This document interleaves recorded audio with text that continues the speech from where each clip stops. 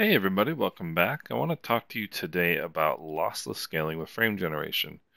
We covered this back in January and it, it was a really interesting concept at the time, but wasn't really ready for prime time at that point. They have now updated the program twice since then, and the newest iteration of the program has a not only a two time mode, but a three times mode for frame generation. So what that means is instead of doubling your frame rates in supported games, you can now triple your frame rate in supported games.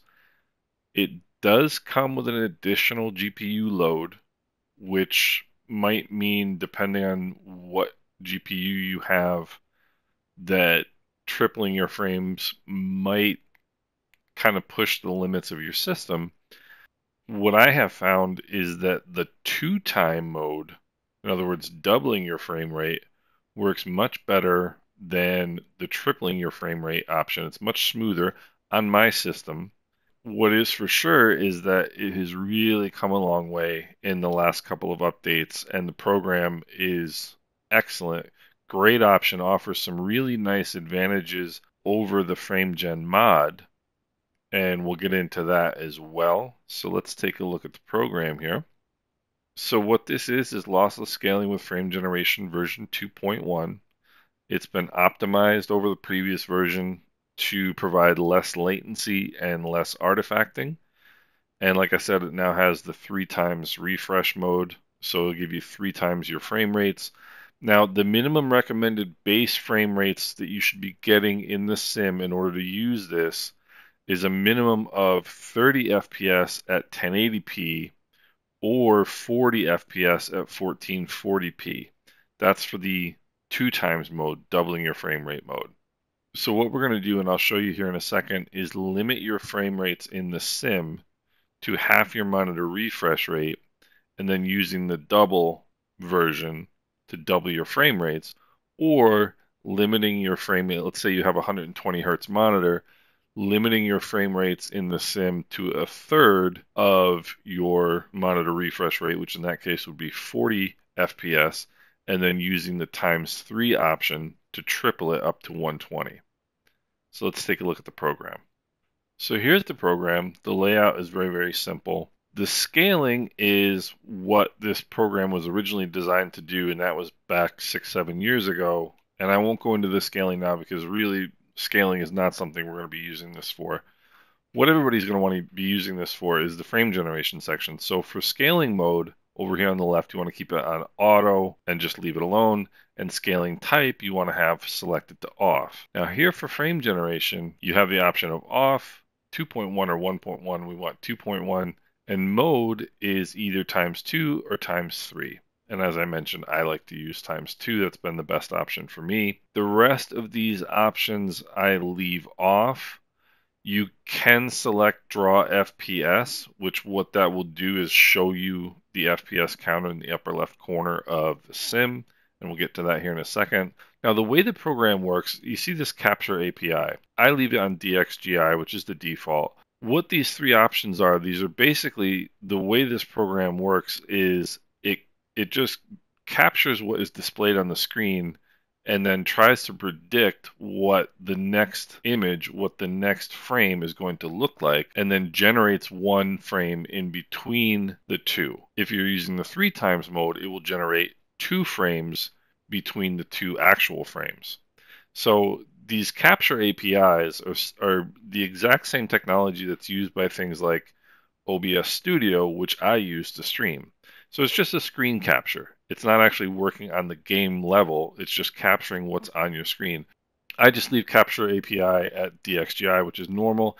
If you've got more than one GPU, which I don't know, seems rather unusual to me, but you can select whichever GPU you want to run the program.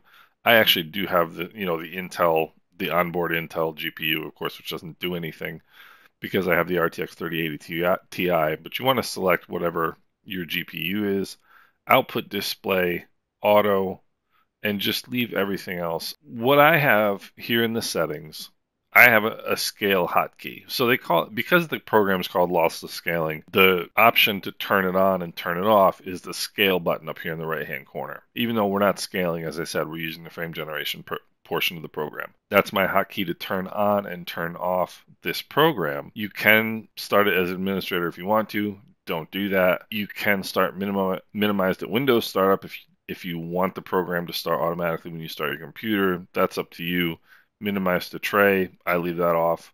Everything else is the same. I just leave everything, all this stuff off. If you want to set a hotkey, just click the X and then hit whatever key combination you want, and you will get that saved.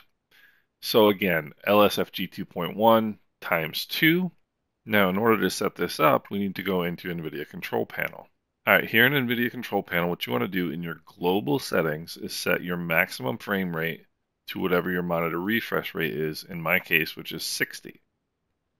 Then you want to go into your program settings for Microsoft Flight Simulator, and you set your maximum frame rate for half of your monitor refresh rate, which in my case would be 30. Or let's say if you had a 120 hertz monitor like we were talking about earlier, you might want to set it for 120 in the global settings and 40 in the program settings, and then use the times 3 option.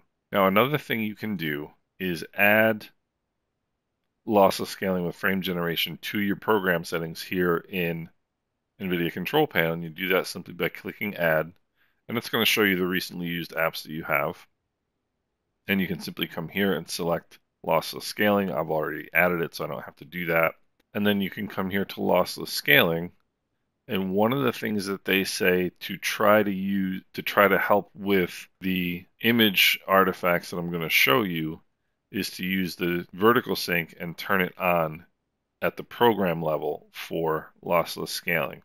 You can try that. We'll talk about that here in a second. So now that the program is set up, we can go into the sim. We're here at St. Kitts Airport in the Britten Norman Islander You might not notice it so much right here, but there is some jitteriness to this image as we move around.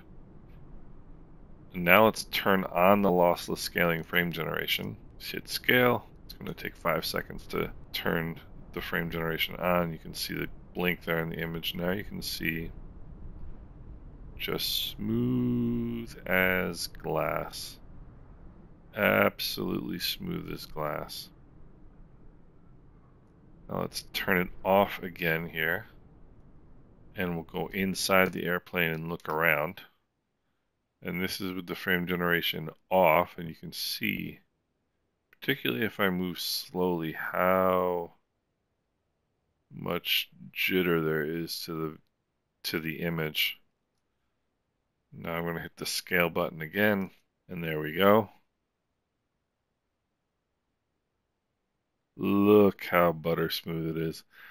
The change in color, by the way, for some reason, my NVIDIA filters are turning on and turning off with the same key combination, even though it isn't set to do that. I don't know why it's doing that. But now the one thing you're going to notice is like on that pole there, or sometimes on these poles here, these light poles, you might see a little bit of kind of a, a, a, a what's the word I'm looking for? The image can distort just a tiny little bit when you're looking around. See on the edges of the windows there, it'll do that a little bit. But here's one of the other really cool things for people who like using the FrameGen mod, but you can't because either you're using a heads-up display or you're using in-sim apps such as the Navigraph charts app like this, like if you're if you're using the FrameGen mod with this, it's going to have a, a really bad distortion as you move your head around. And I'll show you that in a second. And you can see here with lossless scaling with FrameGen, no problems whatsoever. Now I'm going to turn lossless scaling off, and then I will turn the FrameGen mod on, and I'll show you what I mean. See that?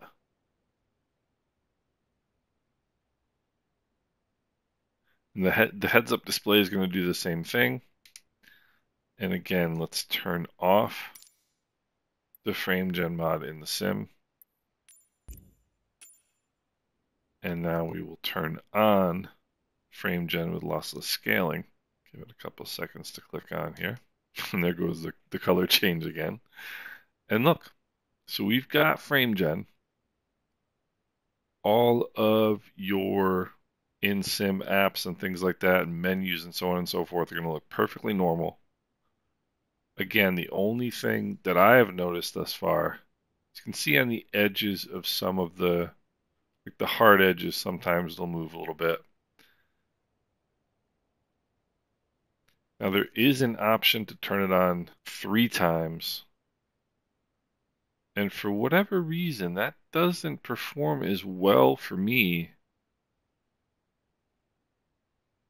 as the two times scaling. Probably because I have a relatively slow monitor refresh rate. I mean, my monitor refresh rate is only 60. So it, it really works very, very nicely. Come out here and look around a little bit. See how the poles, you can see a little bit of distortion in that. But if you want some free frames, I mean, this is superb. It really has some nice advantages to it. So again, very easy program. It costs $7 from Steam. I think it's absolutely worth $7. In NVIDIA Control Panel, in the in-game setting for Microsoft Flight Simulator, you set your max frame rate at half your monitor refresh rate. In the global settings, you set the max FPS at your monitor refresh rate. So in my case, in the global settings, I would set it at 60. In the Microsoft Flight Simulator settings, I would set it at 30 in an NVIDIA control panel. You don't set it in the in-game settings itself. Do it via NVIDIA, NVIDIA control panel. And then simply turn on lossless scaling times two. It's going to give you that half frame rate back I, I think it's a wonderful program. I think it's it it's come huge leaps and bounds since the frame generation portion was added only a couple months ago. So I think we can definitely expect really, really good things in the future.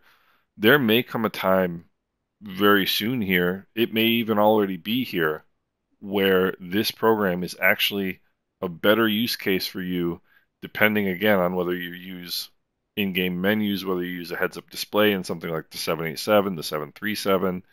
If you if you like using things like the charts, other types of apps like those, which which show up as a menu in screen, and when you're using the FrameGen mod, they have that stutter, that that you know terrible jitter.